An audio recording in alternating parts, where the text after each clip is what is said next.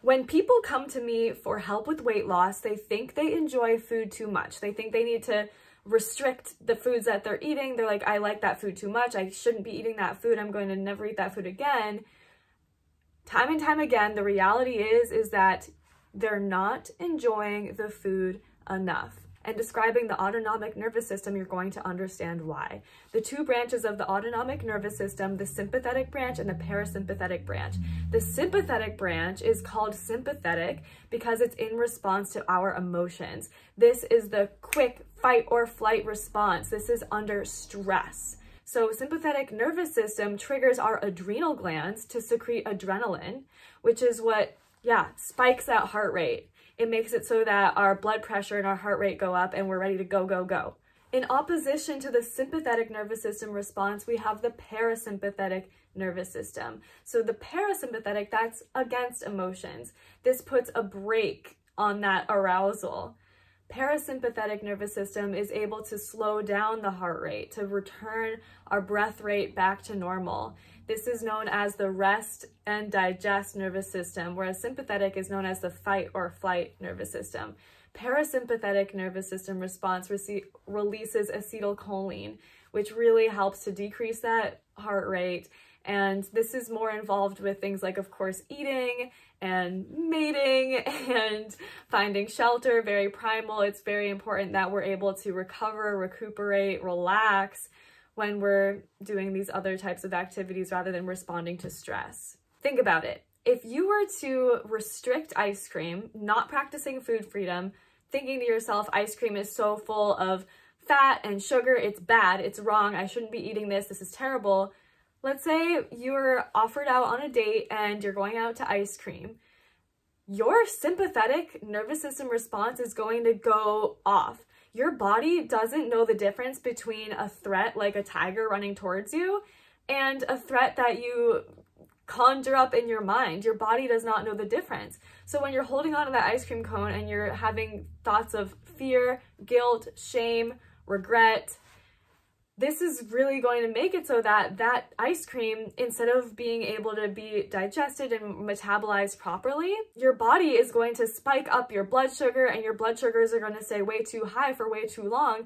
And you're probably going to store fat all around your organs and in your tummy because your body's like, all right, we're in a stressed out state. We've got to save this as fat for fuel because who knows if we're going to be able to eat again or what's going on. We just need to store this as fat right away there's a stressful situation going on. Your body is not going to be able to assimilate that and have it be just chill. However, if you were to say, oh wow, fantastic, I'm so grateful, I love ice cream so much, this is delicious, and then you eat, eat, eat, maybe you don't finish the whole thing, maybe you throw some of it away, maybe you do finish the whole thing and you're like, oh, fantastic, you experiencing that gratitude, that joy, you truly allowing yourself to enjoy that food being in that parasympathetic rest and digest nervous system response, your body is able to actually utilize those sugars that you're eating, right? Instead of all of the blood going into the, the muscles to move, your blood is going to be going into that digestive space and all of the insulin that's needed to help move the blood sugar into the cells is going to work properly.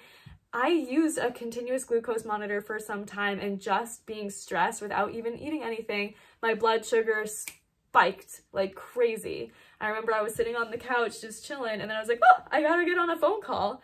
And without eating anything, within an instant, my blood sugar went from like 90 to 160 without eating anything. Stress really affects our, our body chemistry let's tie this all together with, okay, what is food freedom? What is stress? And how can we make this work for us?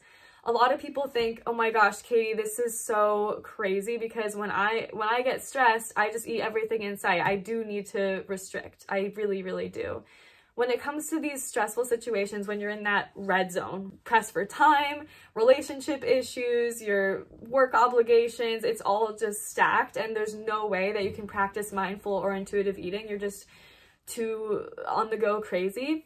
This is a really beautiful opportunity to practice even more mindful eating. So what that means is um, some people are mm, feeling more or less empowered around using a tracking app. So I like to hold some of my clients who are comfortable with this accountable using Cronometer. So you log your food on there. Maybe you can just have a food diary or a food journal. Like if you're really not able to be mindful about what you're eating, write it down. Write down in your phone what you're eating because then you can say, oh my gosh, okay, I've already eaten this, this, and that today. I don't need to be eating anymore. Another way, it can take 10 seconds. It can take five seconds to simply take a deep breath in and a breath out and witness, am I even hungry right now?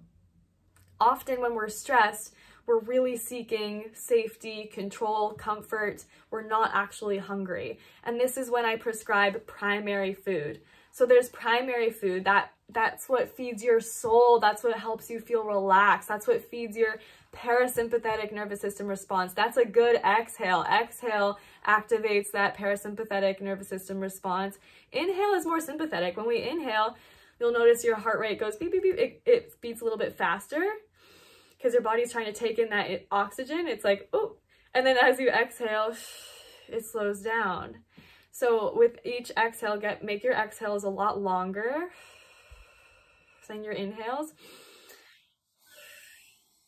Take a deep breath, put your hand on your heart and say, okay, on a scale of one through 10, how hungry am I right now? What do I need right now? And often that's enough and often when I do that with myself, I say, okay, I need a 10 minute walk. I need to go for a walk outside. Um, I need to call a friend.